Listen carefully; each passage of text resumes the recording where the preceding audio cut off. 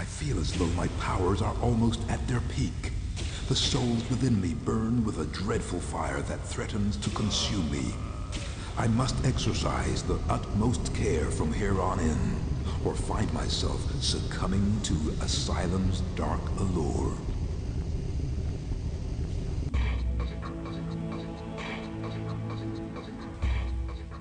Now, please don't be too candy cane cheerful there, Michael. You must have thinking we're in a Tim Burton movie or something. I don't, know what the accent is either. Hey guys, now this is the start of the new set. New area for a new set, of course. No sideways jumping there, Michael. I'm assuming the boys and girls were very, very impressed.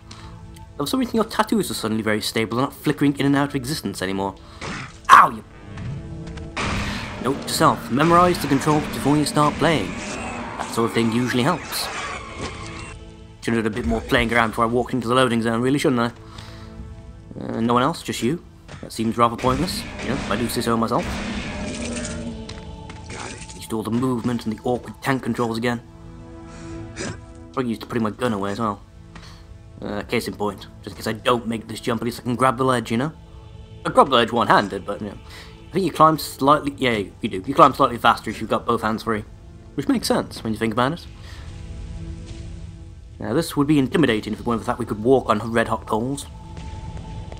The area we're in today is the Lava Ducts, if I remember correctly.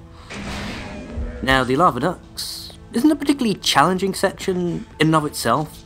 It's mostly a lot of jumping puzzles, although there are some rather nasty ambush sections where you get like hit with uh, six or seven guys at once. Um, they give you quite a lot of room to back up and such, so even then, it's not particularly challenging. It means I've got a level 7 shadow gun, I should. Yeah, there you go. Takes all three and a half shots to take out a sniper dude. To, oh, fuck. I remember there's a delay before you start tracking as well. You should keep that in mind, shouldn't I? I get his stuff before... Nope. God damn it. weren't fast enough, Mike. Glad this guy saw it instead. Tastes of elderberries. I just don't know what they taste like. Know you can make wine from them. You can make wine from most berries. I wonder what it actually tastes like in and of themselves, though. Hmm. It's like mulberries.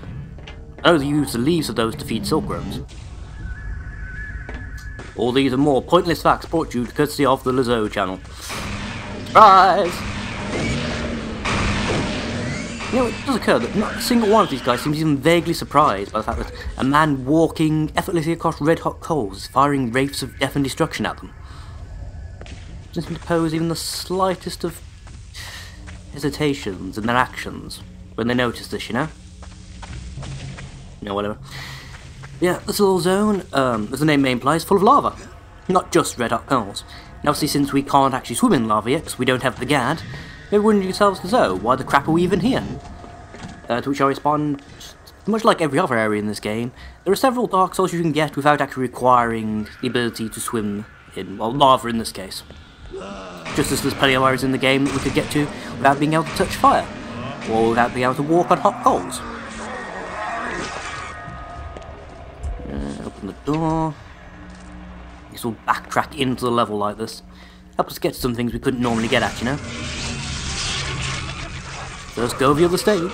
Within... Eh, it's under five minutes, that's not bad. Not bad at all. As you get further into the game, your, your pace increases quite rapidly. As um, less and less obstacles actually act like obstacles, if you take my meaning. Speaking of which... Wow. Yeah, she got like a wrestler's mask on. That's hardcore. Macho chainsaw. Nah, oh fuck. Right, you guys can come through the doors, can't you? There's lots of you. Jack Black wouldn't be impressed, I'm just saying. Just so you know, bruh. Just so you know. You fucking die already. There we go. A line takes to kill the pissing chainsaw guys, and this is a perfect example of the ambushes I was talking about as well. I've been slightly jaded to the whole thing because I'm not particularly panicked by any of this. Getting better at moving when in strafing mode as well, which really, really helps. Right. There we go. As long as it's just you. Wow, you hit me without even looking at me. That's impressive. Or a badly coded hitbox, you know. Potato potato at this point. Oops. I didn't actually mean to do that, but it worked out marvellously. What's the matter, son? Too hot for you? Too spicy?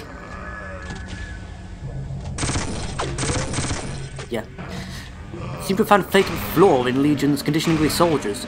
He hasn't taught them how to shoot downward. It's fine as long everyone always comes at you from the same elevation, but first time your en- Immortal Army encounters a hill, you're screwed. You can't hit people like that. No, whatever. That everyone?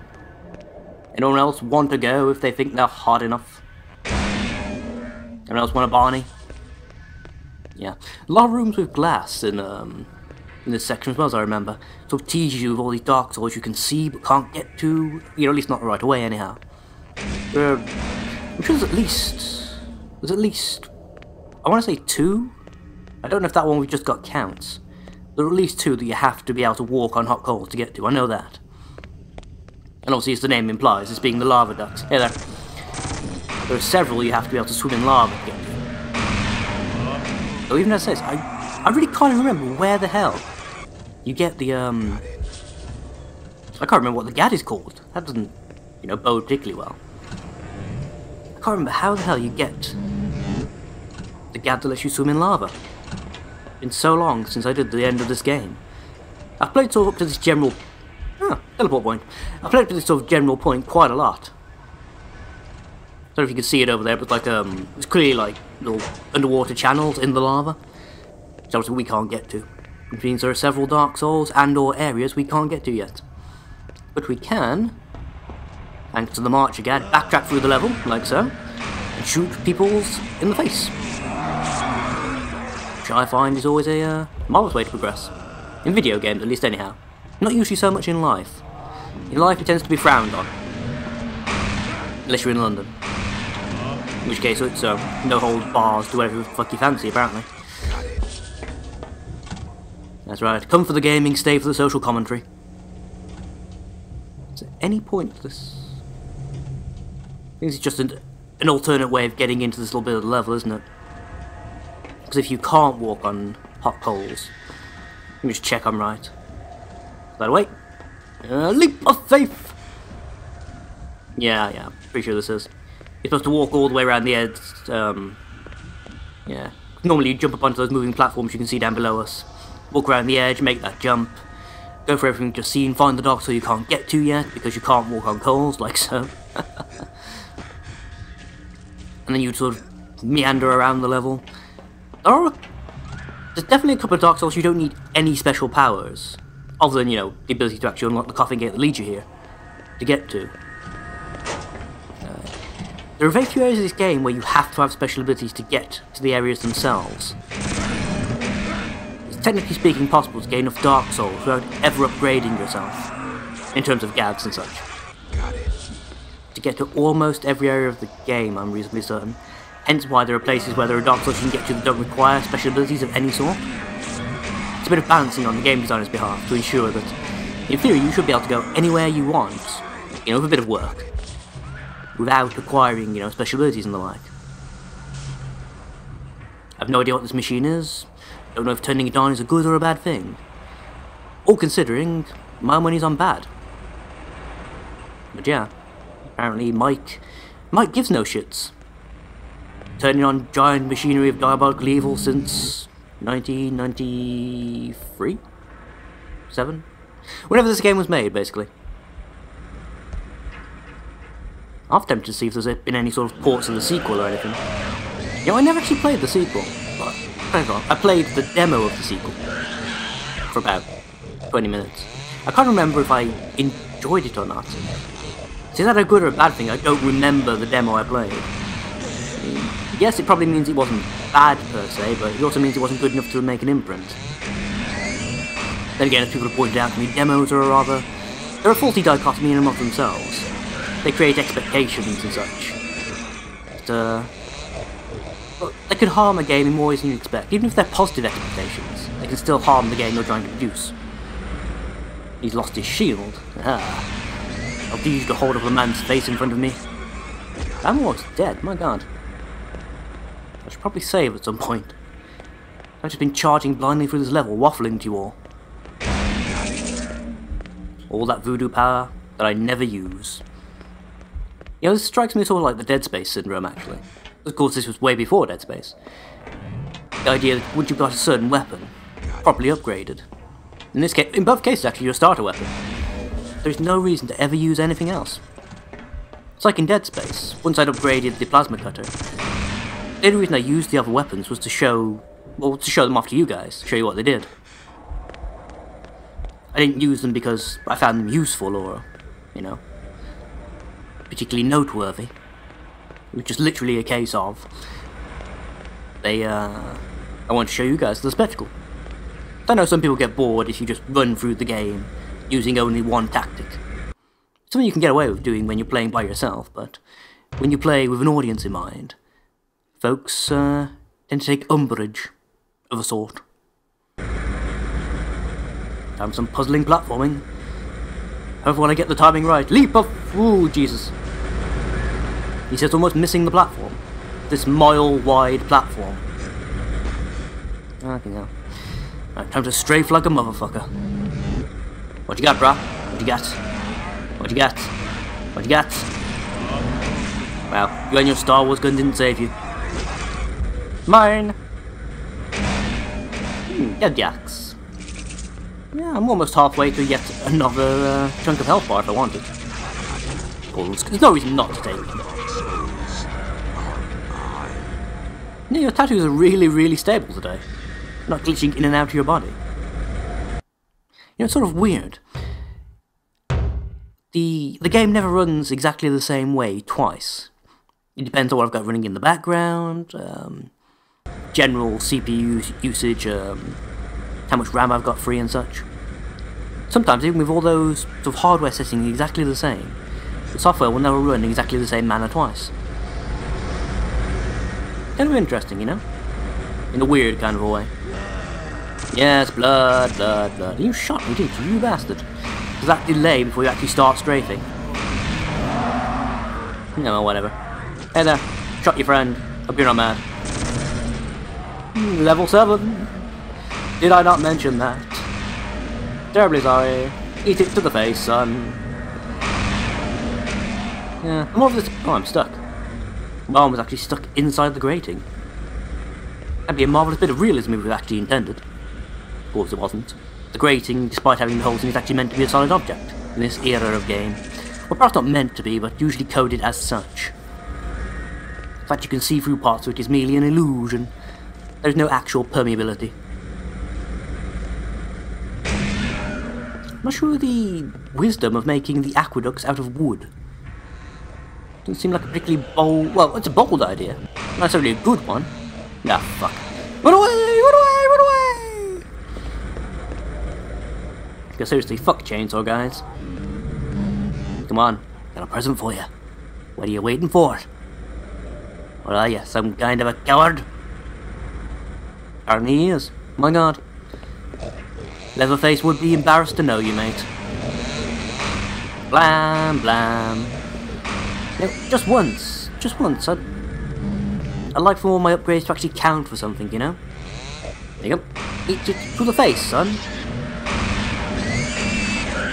Even with the power-ups, it still takes far too long to kill these guys. Especially en masse, you know. A battle can take like two minutes, which I know doesn't sound like a lot, when you have to do a lot of ambush points and such. When stuff keeps respawning as well. That's when it really gets on your nerves, you know? Missed entirely. I say missed. The lock-on decided to turn itself off. Which is my... It's really my only bugbear with the combat system in this game. I know I've mentioned that combat tends to take quite a while, but even that in and of itself isn't that much of a problem. I mean, I play Dark Souls and Demon Souls. Combat in those games takes fucking forever. You know, unless you're ridiculously over level anyhow. Blood! Yes, yes, yes. I'm sure I remember that when you get to high levels, the wraiths that you're firing these guys are supposed to be able to attack multiple opponents. Again, perhaps that was just on the N64 version. Perhaps it was never actually an intended feature, just one that sort of happened.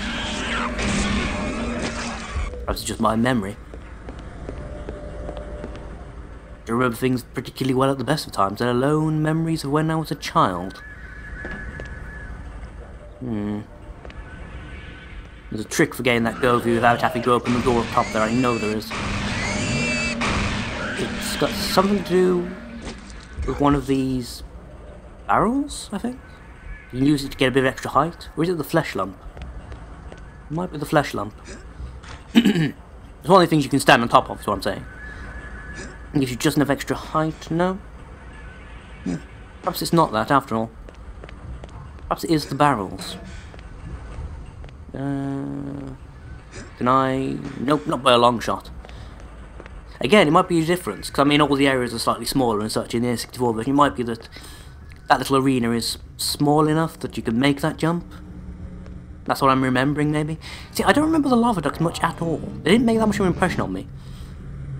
So either they weren't too difficult, or I've just numbed to the horrors of the game by that point, and didn't particularly notice.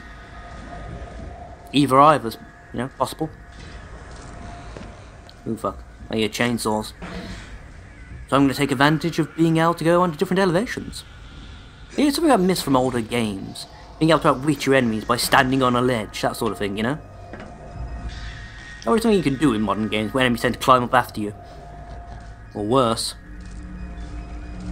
Can I lock onto you? Would like the lock onto work. oh fuck. Well, I didn't mean to do that, but, you know, whatever. It's not going to be particularly challenging to take you down. Just keep charging. Unless you keep doing that. The hitbox of your attack must be like a cone in front of you rather than actually following the line of the chainsaw. What's that? It follows slightly behind you as well, so it's attached to the arm. It is linked to the animation somehow. Just not within the area you'd actually expect. Hmm. Excited there, Michael. Doing a wee river dance. Just to, uh... Celebrate the victory. This is not an RPG, Michael. We don't need that shit, you know? Not now, not ever. Speaking of which...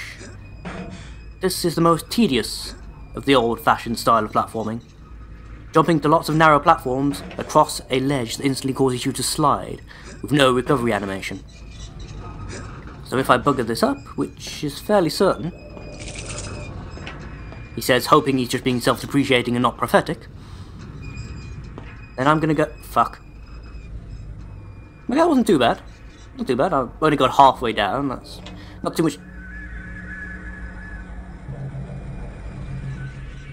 Fuck! Fine. Okay. Try number six. Oh, it's the legend. The man, the myth, the editing that will make it seem like great justice. You can jump up the... Michael, please. Thank you. Nah, dodging blades like a pro. Just call me Mr. Gillette. It was a close shave. But not quite there, you know? Run! Ah, oh, fuck. remember, the hitbox is not where the physical animation is. Think of it like you're playing Dark Souls again. There we go. Not gonna bother jumping to that other one, because fuck am I doing this all over again. Uh, although I'm gonna save, I think. Yeah. Different routes. If it does what it did like in like the main body of the asylum, where it could like drop you back down into you know a random area of the game for no particular reason, I want to be able to reload the save, you know, rather than have to walk all the way around. Or worse yet, do that jumping puzzle all over again.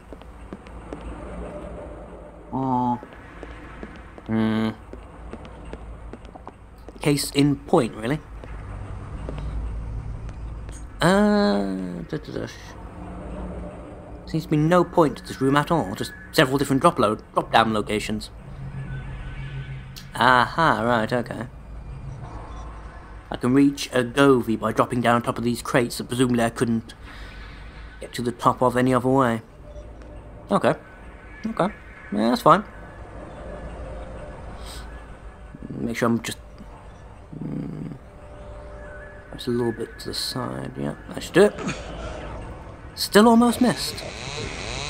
Why is my sense of 3D spatial awareness just absolute crap when trying to play this game? Yeah, hey there, how's it going? Getting the lock-on decided not to work, so I'll try and shoot you in first-person mode. Where you can't climb, you can't follow me like that, where are you going? Unless you're just running away in general, which, you know, it's definitely an option. Makes my life easier. That feels weird, you know? Them being the ones to run away instead of me. Hmm.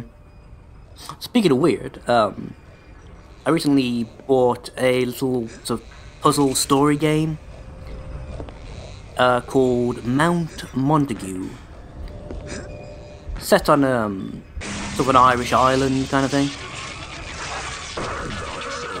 So these oldie worldy type settlements, people will try to get back to their roots, blah blah blah. There's been some sort of a plague there that's wiped out most of the inhabitants. You are playing as a I'm sorry, entirely certain actually, whether you're just playing as a random survivor, whether you're actually playing as the guy whose um, sort of diary scraps and such you find.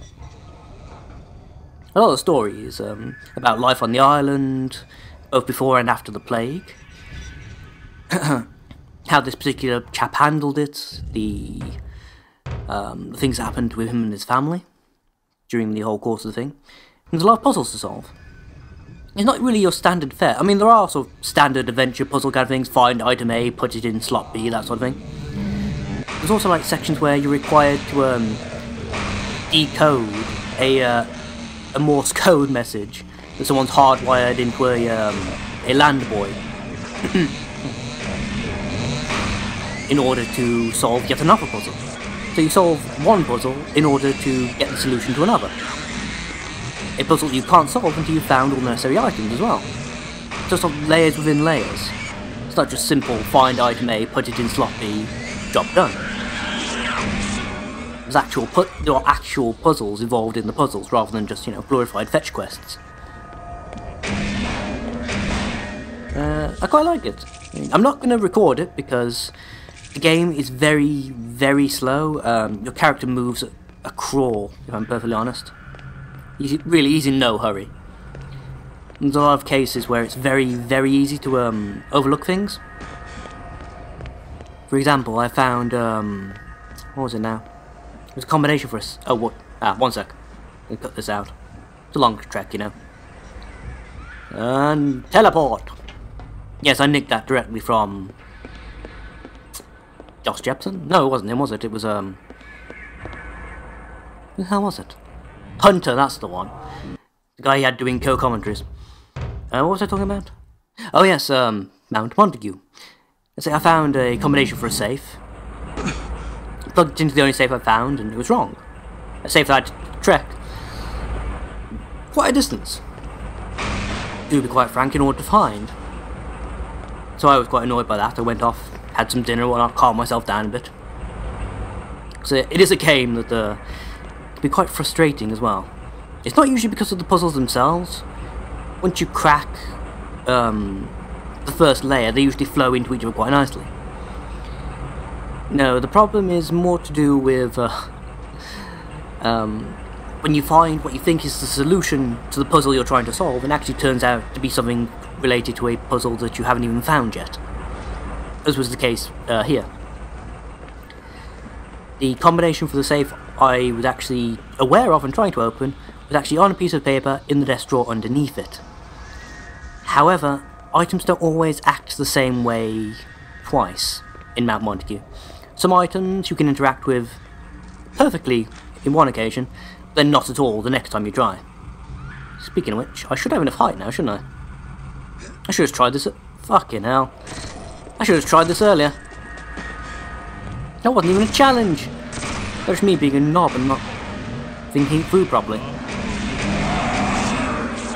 Yeah, standing on the side of the lump of flesh not going to help. Standing on the top allows you early access to the scurvy. So I'm reasonably certain the doorway over there, see the big metal one? I'm pretty sure you can't actually open that from this side. You have to throw a... Uh... Not sure if you actually have to throw a switch or you just have to walk through it from that side to actually trigger it properly. I'm pretty sure until you get into that area, that door isn't actually loaded properly. I use the word properly too often, haven't I? No, no, whatever. You get the general point I'm trying to make. Uh, actually, I'm going to go check, though, just to be on the safe side. Yeah, back to Mount Montague. Um, in some cases, like, you won't be able to open all drawers. Some cases, they'll be uh, blocked off by stuff. Other cases, they just won't respond to whatever you're trying to do. What if I get one of these guys to glitch through the door like having some other occasions? See his arms coming through? Sometimes you get them to stand in the right position. Usually you get them to take damage while they're doing it. They'll sort of clip through the door. Which... It's not actually as bad a thing as it sounds. It allows you to separate packs of enemies. But I don't think I'm going to be able to get through there, so... Next area, next area. Um, there's definitely still some stuff to do in this area, I think. Hmm. I'm sure there's at least one. I'm missing. Oh, that's it, isn't there's um, yeah, the main room with the coals, of course, of course. I didn't actually go down that one side passage yet, did I? Of course, of course. All I gotta do is remember how to get there. That is going to be the challenging part. Was it... Was it down this way? Pretty sure it was. Yes? No? Maybe I don't know. Yeah, because, um... There's at least one of the walkways that leads into some of these rooms. Don't think it's... I think that one you have to be able to get... Actually, no, wait. What's it is... Who is that one? There's definitely one of these yellow rooms that you can get to by using the coals. I know that for a fact. I said, I mean, I remember that vaguely. That's not exactly the same thing. Uh, oh wait, can I... Can I repeat my trick from earlier and, like, jump off this and grab onto the ledge, maybe?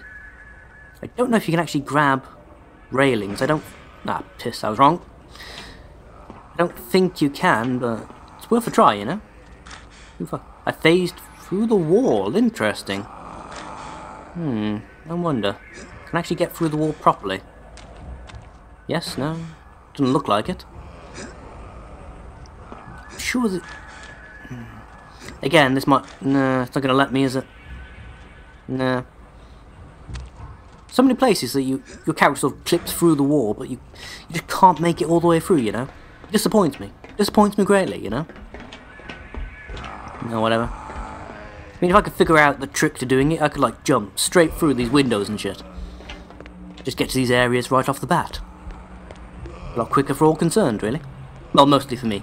Also for you guys, technically. Possibly. Maybe. But yes, well, I've lost track of what I was saying entirely, so... Let's just call it a day, shall we? I say call it a day, I'm gonna go grab a bite to eat in a moment, I think. Seem to be getting very, very hungry lately. Must be the winter thing. Old primal instincts and all that bollocks, yeah? First, I'm definitely going to go and open this gateway system. Now, if I remember correctly, the gates won't open until you've turned them on. Uh, those things up there. I'm reasonably certain they won't activate until you've actually used the engineer's key on them anyhow.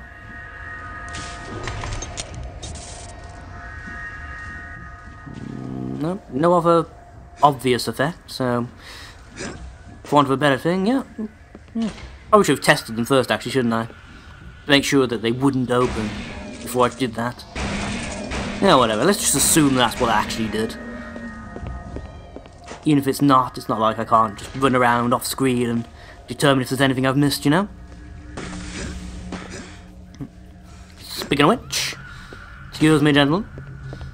Again, these very complex opening doors. You'd think uh, Mr. Ripper been watching a lot of Star Trek or something. In fact, that would be a lot funnier, actually, just two random mobs of enemies just standing on either side of the doors, pulling them open every time someone walks past. It'd be like the Dreglings in um, 1-4 in Boletarian Palace, wouldn't it? Yeah, you can tell how much Demon Souls I've been playing lately, they even make that reference. Hey there, how's it going? it's been between Demon Souls and using my purpose-made co-op character in uh, Dark Souls. My son, bro. I gotta admit, he's not as useful as I wanted him to be. He's mostly for aesthetics. He's definitely not a guy who can run in there and like solo everything for, you know, the player. Which I suppose is actually a fair trade-off, you know. He definitely... You can definitely provide a lot of support but he's not going to do it for you. Couldn't do it for well, he probably could, but it'd take me longer than it'd take for you to do it by yourself kind of thing. You take my meaning? I'm not explaining this very well at all, am I?